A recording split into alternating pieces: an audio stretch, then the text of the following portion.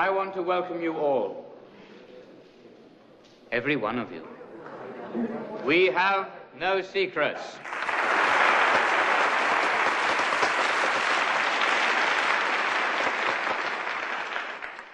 Let us begin by being clear about General Smuts' new law.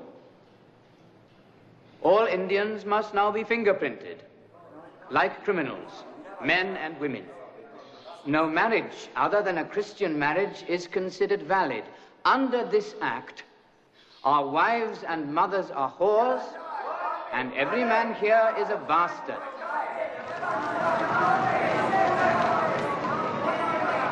He has become quite good at this. And a policeman passing an Indian dwelling, huh, I will not call them homes, may enter and demand the card of any Indian woman whose dwelling it is. What Understand? He does not have to stand at the door. He may enter. I will not allow it. I swear to Allah, I'll kill the man who offers that insult to my home and my wife. And let them hang me. I say, talk means nothing. Kill off your officials before they disgrace one Indian woman. Then they might think twice about such laws. In that cause, I would be willing to die.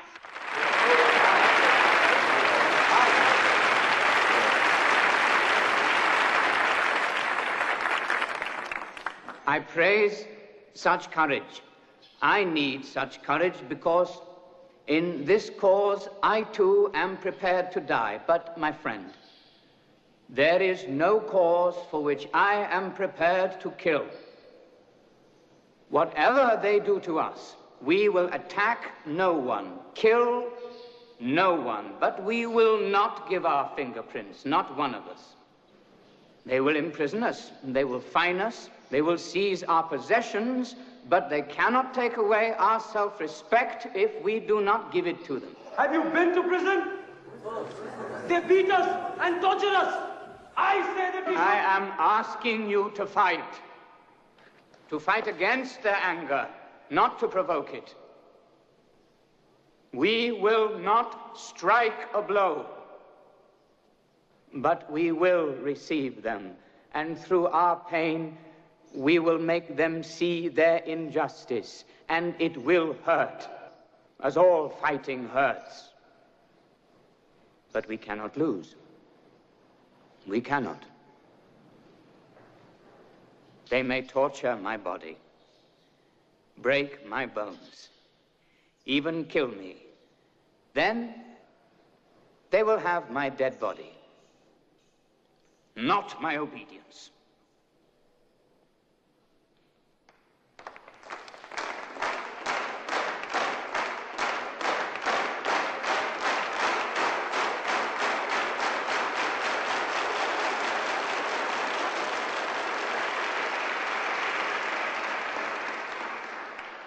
We are Hindu and Muslim, children of God, each one of us.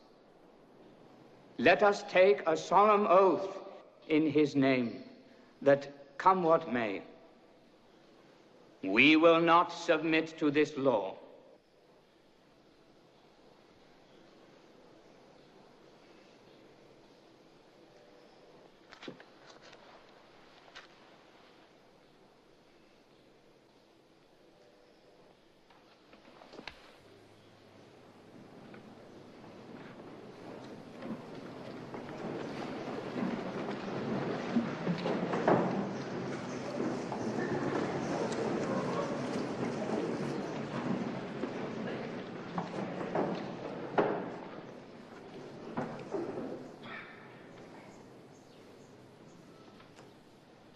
God save our gracious King, thou live